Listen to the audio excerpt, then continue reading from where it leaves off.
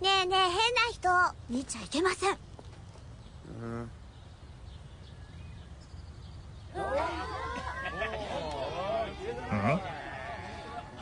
私絶対イカ焼き買うんだ。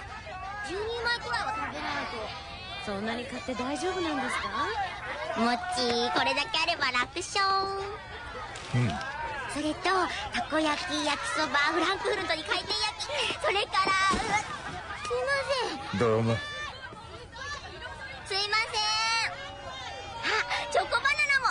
だまだいけるわよね。